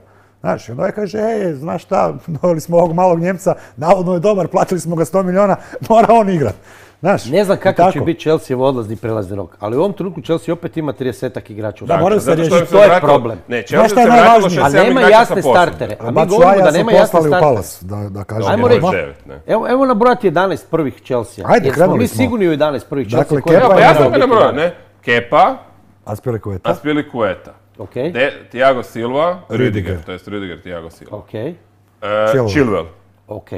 Jorginho, Jorginho mora igrati, jer mora ti neko davati tempo. Mora, ali nisam siguran koga ga Frank voli, ali Ne. Jorginho mora igrati. Znači, za Jorginha sam jedino siguran da je prvo timac. Ja sam uvjereni da će Kovačić igrati prije nego Žoržin. Jer ako ti igraju Kovačić Ako i Kante, zajedno. ti nemaš nijednog igrača koji može od obrmenog primiti loptu Nemaš deep lyinga, da. Nemaš deep lyinga, Ok, oba dva. Jorginho, Kovačić, Havertz, ovaj, Pulišić, Pulišić, e, Ziješ. Ziješ, Werner. Ja, sad tu dolazimo dakle da u zagradu staviš Znači, ok, Abrahama i onda u treću zagradu staviš Žirua. Zašto je Žiru uopće ostao ako da će biti treći izbor? To mene zanima. ja voli živjeti u Londonu. Idemo djeca u školu u Londonu. Pa da, šta? Mislim, Žiru će dobiti svoje minute. Žiru će sigurno dobiti minutažu, u stvari ovdje će žrtva po meni biti Tamije Ibrahim. Misliš? Jer pazi, ako ćemo nominalno slažem za mene Werner e, upotrebljiviji igrač nego Tam. Tam je klasični igrač 16 Ja, Sidrun. Uh, Werner, fenomenalno ulazi iz drugog plana, znači s njim možeš igrati, i na, njega možeš staviti na second strikera, on će i to odraditi odlično. Čak to preferira. Čak, čak mislim da je i bolji u toj poziciji, ali Da, s obzirom Giroud, na formaciju momčadi neće to igrati uglavnom, osim u nekim situacijama. Ali sad se mi govorimo, Ziješ desno, dobro si igrača koji ima, taj jedan na jedan, znači on je nekakva zamjena za Vilijana koji je otišao u Arsenal i to je to. Pulišić igra lijevo. Mount, znači ispada iz igre. Ispada Loftus, Cheek. Ispada Kante. Ispadaju dva lijeva beka, Alonso i Emerson Palmieri. Jednog moraju minimalno prodat. Odjednom Zuma, Kristensen i Tomori ulazi kao treći, četvrti, peti stoper, što u biti nije tako loše. Ajmo To je odlično za Chelsea. Rhys James će dobiti svoj prostor kao zamjena za Splikuetu. Da, desnog beka nemaju. Znači imamo problem. Šta s Kanteom? Ako ga želi Real. Mislim da je ovo trenutak da ga se proda u principu. Se slažem. Ako ga želi Real, ako želi dobiti novac. A opet, ko želi prodati takvog igrača?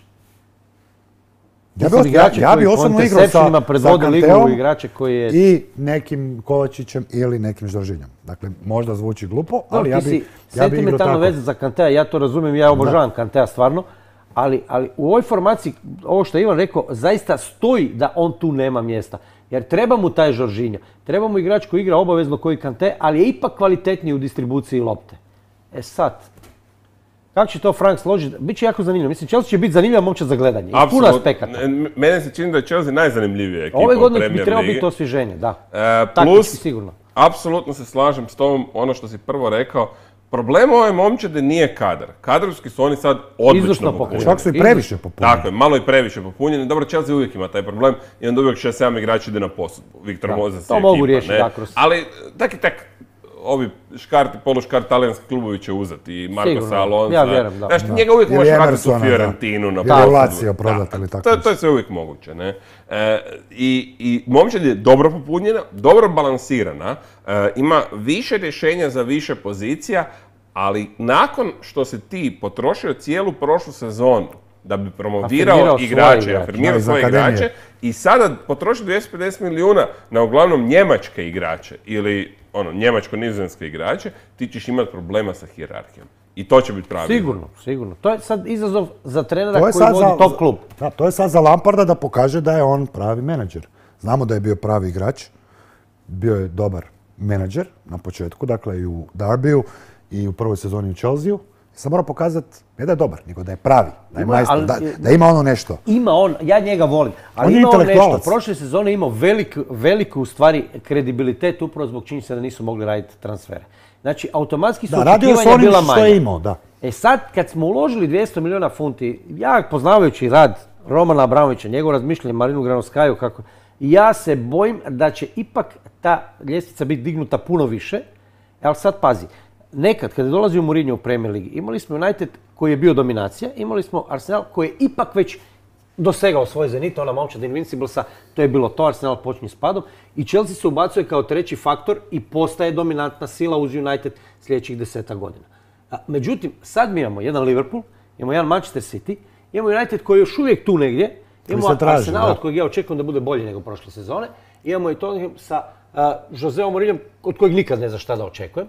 I nisam znam siguran, da i nisam siguran šta sada u ovom trenutku je realno za ovaj, za ovaj Chelsea. Koji je realan plasman? Reći ovaj ćemo na kraju koji je realan plasman.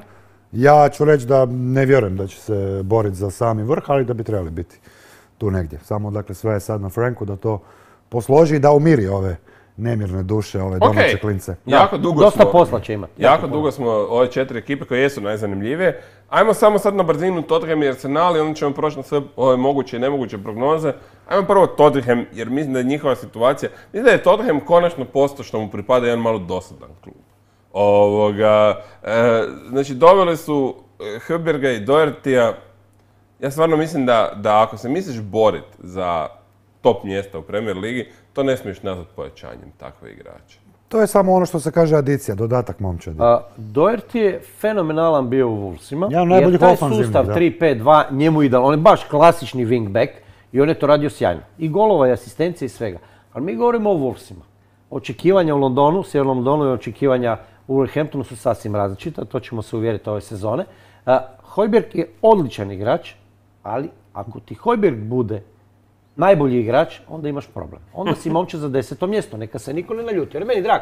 Ali uh, Hojberg nije igrač koji će biti, ne znam, tipa govorimo Pogba, Kevin De Bruyne, pa će sad Spursi krenut prema nekakvom Pa će svi igrat bolje zbog Jel njega. tako? On je onaj koji će odraditi sve što od njega traži, on će to odraditi fenomenalno. Ali to je, mi bi rekli, vodonoša. On nije lider. Uh, ja osobno od Spursa očekujem da ponovno Europska liga bude nekakav plafon. Je, ajmo samo ekipu, znači desno Orije ili Doherty, dva... Ne mogu se sjetiti dva različitija igrača od ta dva I igrača. dva različitija personalitija, Da, ličnosti. točno to, točno to. E, otišao je Fertongen, što će biti po meni problem. Bit će problem, Sad sigurno. imaju Alderweirelda i Davinsona Sancheza. Justin Foyt, kad god bi igrao, on je meni ono ko Lindelof. Izgleda mi dobro, ali samo čekam jednu, jednu grešku. da. Ne? E, lijevo je problem već. Da li Ben Davis, da li Rose, ne zna se. Pa s Roseom je situacija takva da mi nikad ne znamo hoće li on uopće igrati u tom Tottenhamu. Ok, će biti ima još prodan. ovu godinu ugovora, hoće li ga popet On- poslati na poslu On će vjerojatno biti prodan, jer ako mu ističe ugovor na ljeto, iduće, onda oni ostaju bez njega. Pa je Ne, nešto ali da ga kažem, onda nemaju nikakvo rješenje Onda nemaju rješenje, onda imaju samo Davisa. Tako da. je. Nema Vertongena koji je krpo rupu na toj Da, jer bi trebao igrati zadnjeg veznog, ali koliko će on biti ozlijeđen ili neće, to nikad ne znamo. Šta je sa onim Endom Beleom? On se nije baš... Ndombele Njega bi trebao ali- biti desni vezni, a lijevi vezni bi trebao biti, to jest, Hojbjerg. lijevi vezni bi trebao biti Ndombele, desni vezni Musa Sissoko, ili Lo Celso, ili Höbjerg, i sad to imaju jako puno talenta i jako puno različitog talenta, to je istina, ali ti imaš šest dobrih do vrlo dobrih veznjaka i ni jednog lijevog beka. I samo jednog pravog napadača u vidu Harry I u stvari okej, oni imaju napred Kane, Ne, napad je dobar. Ne, napad je okej, Dele Alli, sve Son, okej. ne ovako, znači Son, naravno, Son, u redu. Son je nabrajam Lukas. Moura, ok. Bergwijn, ok. Lamela, ok. To je sve popunjeno, ok. Ako se ozlijedi Kane, Lamela može igrati napadača i to je ok. Iako Lamela se isto uvijek ozlijedi. Ali dobro. E, taj dio mi je ok.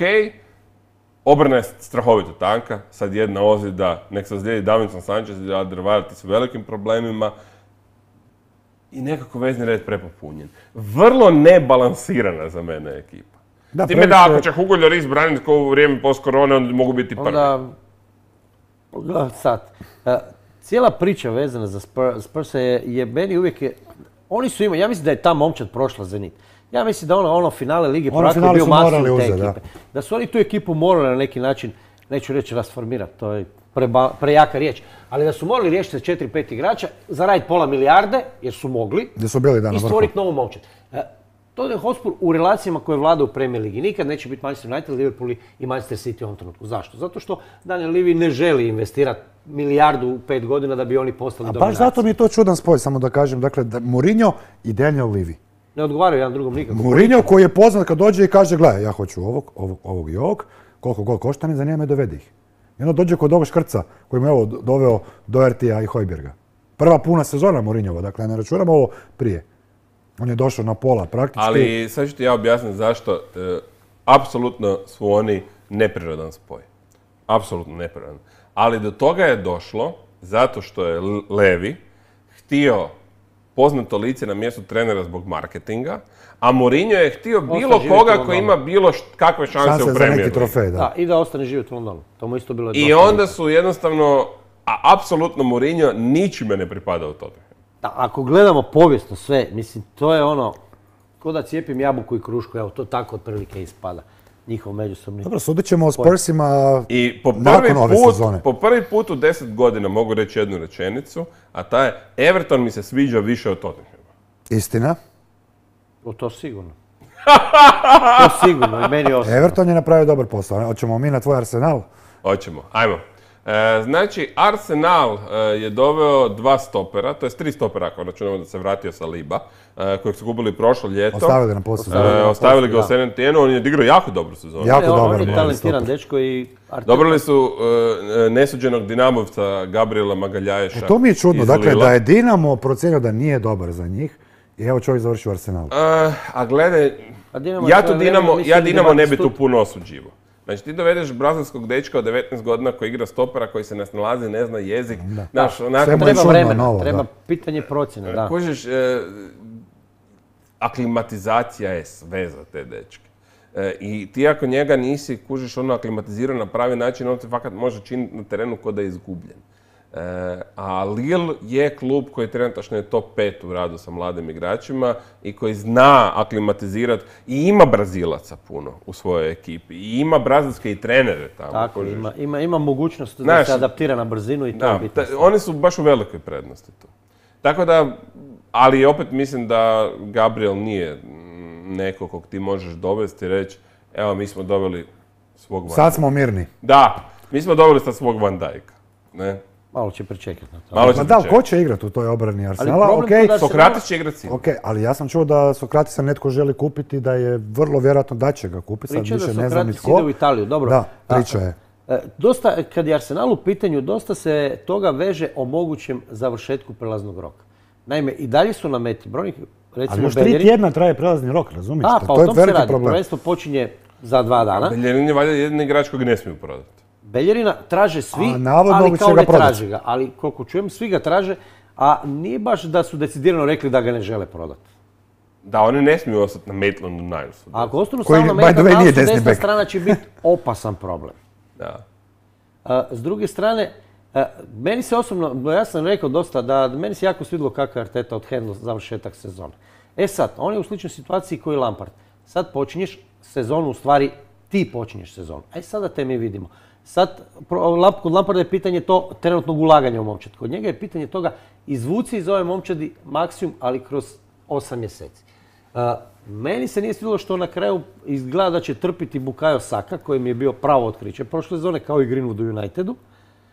A, ja ne znam kako, s kom- ako uspije nagovoriti Obameyanga da ostane, Ne, ja mislim da Aubameyang Navodno već potpisuje ostaje, da. danas a onda sutra je to novi strašan ugovor. posao. E sad, Aubameyang je fenomenalno funkcionirao sa Lakazetom. Hoće li morati zbog nekakvih unutar financijskih kombinacija prodati Lakazeta? Mislim da bi to, to bi onda mogao biti ozbiljan problem sljedeće sezone za napad. I dosta sam nedefiniran glede momčadi Ne, ono što Arsenalu treba je standardizacija ekipe. Tako.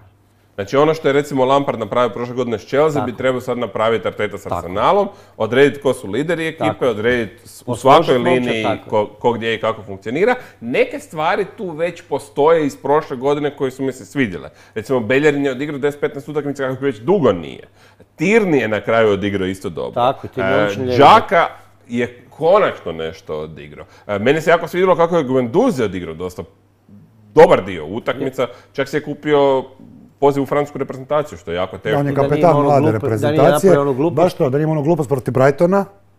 Vjerojatno bi odigrao još više od 24 utakmice, ako se ne varam, u prvenstvu Genduzi. Pepe kad bi krenuo od početka bi isto igrao dobro. Zašto Pa je za to... napad odličan. Znaš što meni Sorry, nije jasno? Zašto je Pepe za tog. Pepea moćan toliki novac? Znači ja prošle sezone što sam gledao, A dobro, ajmo reći da, mu, da je trajala taj proces prelag. Neki se brže uklope, neki Dobro, sporije. a onda ćemo ga on sad vidjeti. nesreću da je došao u Arsenal.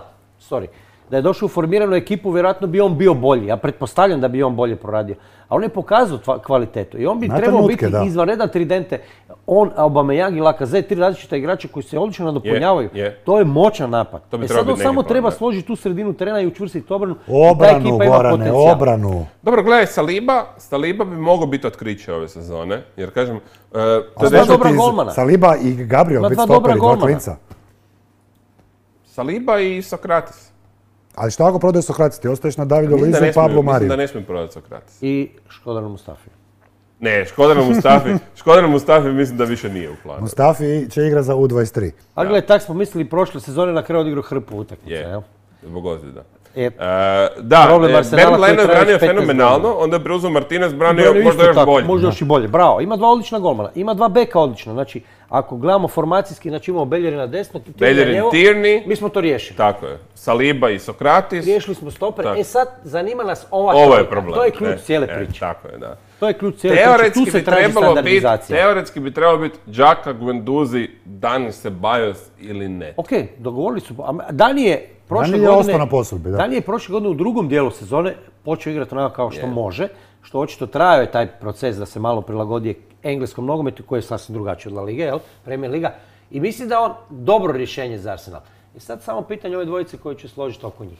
Možda je to malo ofenzivno za Artetu, ovako kako smo mi zamislili sa Pepom, Obameyangom i Lakazetom, i- ali Ne, po to je meni super super napred, ta trojka. Ja bi samo stavio. Genduzija skroz iza kao nekog pitbull terijera koji će trgat sve, jer dečko je pokazao da ima baš to. Gendouzi je jako kreativan igrač. Pa nema veze, ali ja bi ga stvarno stavio Ja iza. volim da je Đaka na terenu. Osobno, ja nisam navijač na, Arsenala, ali volim Đaku na terenu. Mislim da on u formaciji kad ima s kim igrat, da on može dati puno toj ekipi. Defanzivno pogotovo. Mislim, Đaka, i, e, Ima je strašnu radnu etiku. Đaka je, meni je uvijek najgore kad vidim da on izvodi prekide. Pa dobro, Čovjek od 185 cm i 80 kg da nije na skoku, ali e, to da on izvodi prekide samo pokazuje koliko on dobro izvodi prekide, Dobro jer čovjek e, stvarno na 50-60 metara može pogoditi lijevu i desnu dijagonalu. I on je u tome jako, jako dobar. Đaka je jedan od najboljih distribu- distributera dugih i srednje dugih lopti, ali mu treba, ovo što rekao, prava ekipa da to dođe do izražaja. Mislim da bi Arsenal... Kliknuo je sa Danijem. Ako- Meni recimo da. kliknuo je s Danijem. Znači to je jedan dobar tandem. Oni sredini. imaju 12-13 odličnih igrača. Ako ne, Martinelli koji je isto odigrao dobro. Da, Dobro, njega zaboravili jer je dugo bio ozlijeđen. E, ako Dobro, neće imati napadu. ako će Beljerin biti zdrav, ako će Tirni biti zdrav, ako će Genduzi biti zdrav, e, i ako će napadači biti zdravi, mislim, to je puno ako, ako, ako, jer to sad se nikad nije poklopilo da su svi zdravi. Ifs and buts. Ovo je vrlo ozbiljna ekipa zapravo. Zapravo. Pa, meni Arsenal, ja sam siguran Arsenal ne, ne može biti lošiji nego prošle godine. I čak očekujem Osjetno bolji Arsenal nego prošle godine, govorimo u cijeloj sezoni kad uzmemo.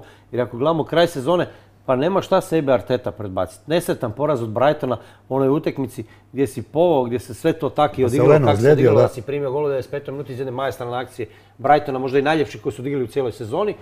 Osvojen FA Cup, Uzeo si si FA Cup. blokirao City, I limitirao ga u svakom pogledu, pokazao svima kako igrati protiv tog Manchester City-a, pobjedio i Chelsea.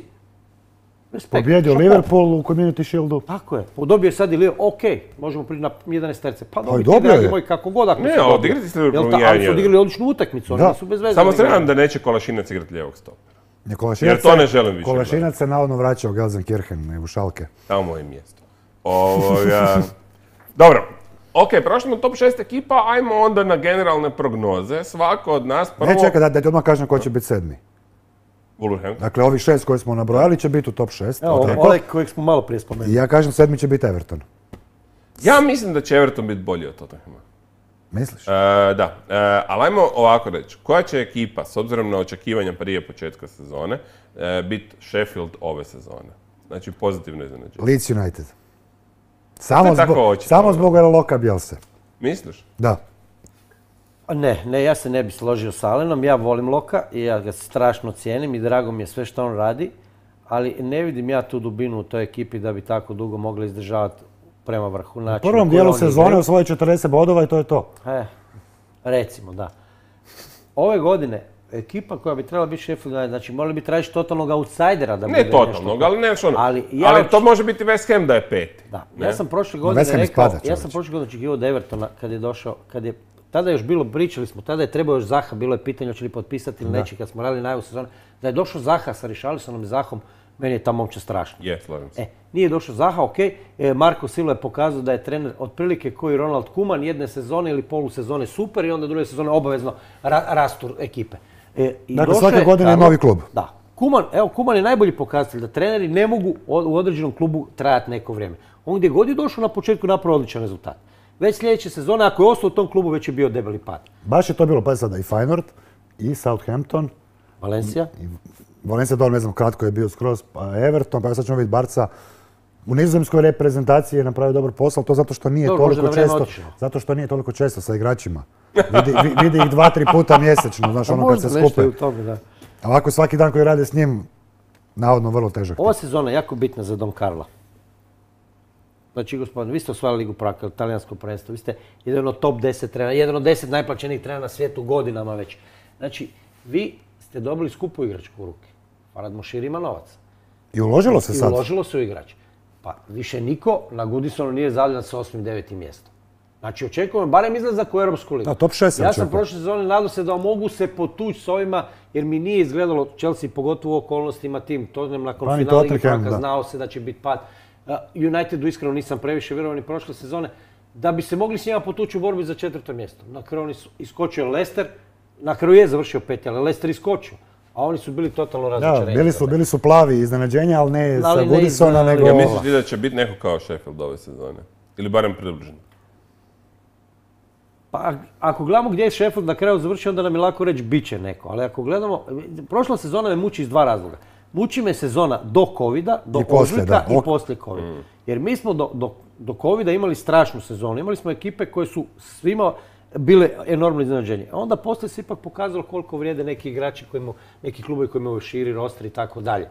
Ali ako bude sezona u kontinuitetu, znači stavimo pod uvjetima da nema covida, ako kvalitetno krenu, i po meni bi Everton trebao biti taj. Baš sam ja to htio reći. Everton bi se trebao tući za četvrto mjesto po. Ali po meni ako Everton završi u top 6 nije neko iznenađenje.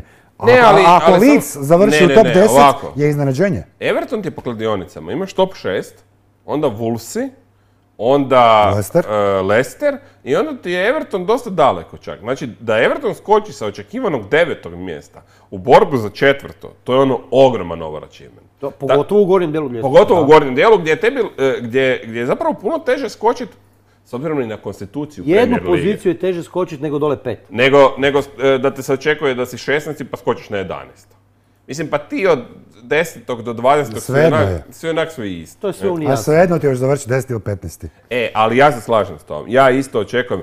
Alan, brazilski prvotimac, e, bo- po meni bolja varijanta Ramiresa. I, i dolazi igrača. umjesto, recimo, njima je odlazak Ngeja ovoga Gane, Gane Geja jako fali. katastrofa. Strašni Da, oni nisu imali destruktora pazi, on u tog. PSG-u nije donio ništa, on tamo ni ne igra. Ali je njima strahovito falio jedan takav igrač. Alan je taj koji može to odraditi i još možda za nijansu i bolje. I sad staviš Dukurea uz njega i Hamesa Tako je, ispred. Dukure je po meni jako dobra kupovina. Odlično. Izvrstan atletski igrač, izvrstan igrač u defanzivi, jako se dobro priključuje, zna zabiti. Pa šta više? Znaš koja je njegova preslika? Ndidi. Da, to su da, ti da. igrači. A Ndidi je izvanredan. Čudi Je. me da je još uvijek u Leicesteru. Iskreno mene čudi da je Ndidi još uvijek u I Leicesteru. Hames koji, ako mu dobro doziraš minutažu i ako ga ne izvrgavaš teškim treninzima, slobodu, da. ako mu daješ slobodne U dane, svakom slučaju bolje nego Sigurdsson na toj poziciji. Hames je najtalentiraniji igrač koji je ikad igrao u Everton. Ikad. Znači, zanemarimo, zanemarimo one s- e, sezone 80, kasne 80 kad su osvajali naslove, ali u Premier ligi Everton nije imao toliko dobrog igrača kao Hames. Oni sad imaju strašno, gledaj, ti si govoriš o ekipi koja kupuje igrače iz Barcelone, iz Juventusa, znači govoriš o ekipi koja ozbiljno želi se boriti za vrh ljestvice, jel tako? Sa Richarlisonom, sa Hamesom, sa ovim, eh, kak se zove, no sad smo ga spomenuli, majkom. Alan, Sa Dukure. Alanom, Dukureom, oni dobivaju je Luka sredinu. Francuski ne, oni se ne? uopće obrane. Dobili su sredinu, dobili su napad. Pa valjda nešto Don Carlo Ancelotti zna napraviti, ako nešto zna, onda zna složiti obranu. Tako da vjerujem da će i tu u toj Jedino golmanu ne vjerujem. Pa golman je ono što rekao, engleski broj zlo na golu 1, Engleske. ej. Engleski broj 1. na engleskom golu. Jordan Pickford. Tomislav Ivković engleski. Nikad ne zna šta će biti. Mogu biti najbolji svih vremena, ali isto tako i najgori u istoj utakmici. Ono što se sjećam. ok, ostalo ne zaboravite samo da kažemo još ko će biti prvi, ko drugi, ko treći, ko četvrti. Ajmo onda svi, prvi će biti, Manchester City.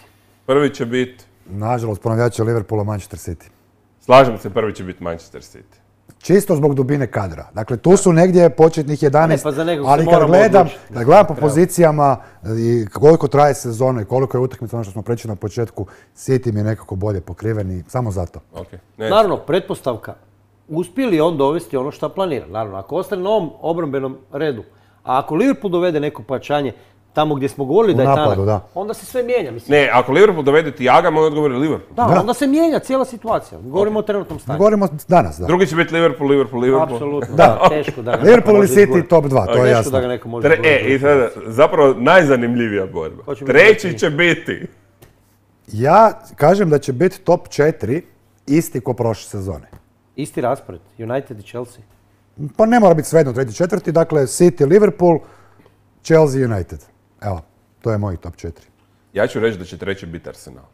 Naravno da ćeš ti reći da će Arsenal biti. Ali nije uopće nelogično. Pazi, gledaj, e, on je hrabar, ja neću reći da će Arsenal biti treći, ali ja imam sad jedan ogroman problem. Ja imam ovako, United, Chelsea, Arsenal i i ja ne znam, zaista ne znam kako će izgledati Everton, ali ja vjerujem da te četiri ekipe će pokriti dva od ta četiri da će biti.